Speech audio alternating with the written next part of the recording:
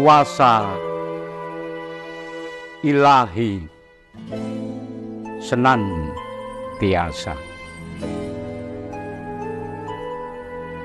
Sebab telah siap saat Robi meniupkan rohnya ke dunia untuk hidup berdampingan dengan sesama. Maka umat kanjeng Nabi Muhammad mesti siaga memanggul tugas mulia sebagai penopang keseimbangan agar tak timpang kehidupan yang bisa berujung bencana bahkan berakhir celaka sia-sia.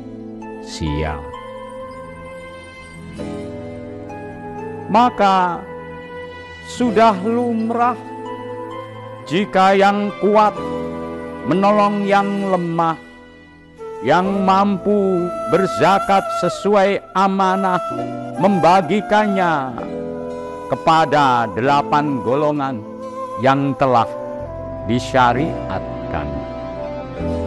Fakir miskin, amil, mu'alaf, rikop, gorim, visabilillah, dan ibnu sabil. Sebab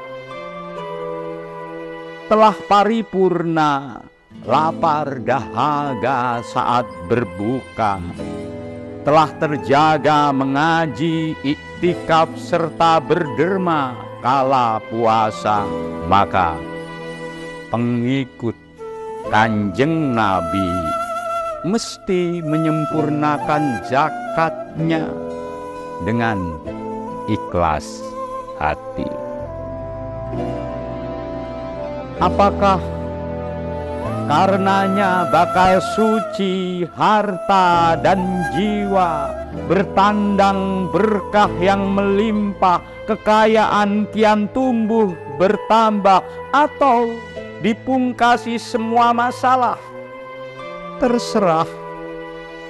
Ridho Robi semata.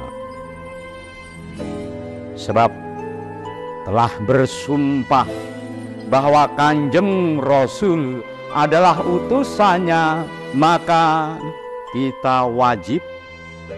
Sami'na wa atokna selebihnya kuasa ilahi Robi semata.